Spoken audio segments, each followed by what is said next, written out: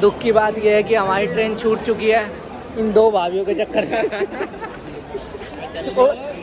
भाई मार रहा है ये।